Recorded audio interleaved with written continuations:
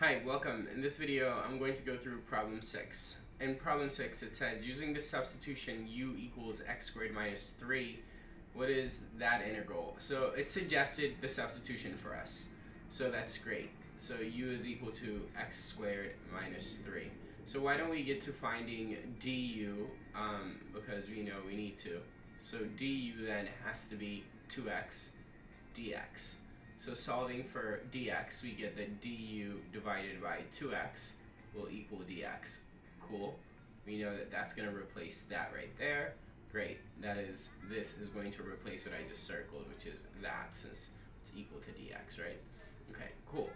And other than that, uh, we need to also figure out our new limits, right? So um, for uh, x equals negative 1, the corresponding u value for x equals negative 1 is going to be u equals negative 1 squared minus 3, which is 1 minus 3, which is negative 2.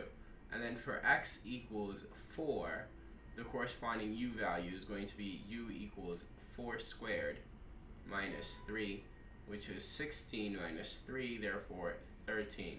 You could automatically rule out some answer choices because now we're going from, we know we're going from negative 2 to 13.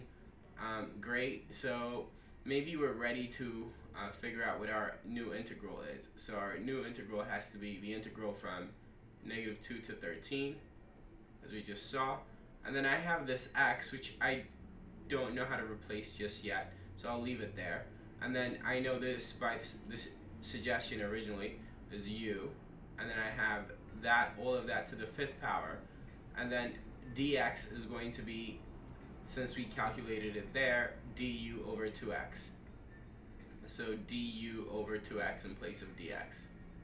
I'll write that better, du over 2x. Oh, how convenient that we get an x factor in the denominator, because that's going to get rid of that x there in the numerator. This always works out if you do this kind of um, solving for dx, as I show you here. So negative 2 to 13 assuming that the problem can be um, appropriately done by u substitution. Um, so that's u to the fifth du. Um, okay, great. So we know where that is. Uh, did I forget something? Yes, I did. Um, dx is equal to du over 2x. So I forgot about that 2 in the denominator. Of course, we're going to put that out here. Um, okay, so uh, 1 half the integral from 2 to 13, u to the fifth. So one half, only one answer choice C, right? Okay, take care.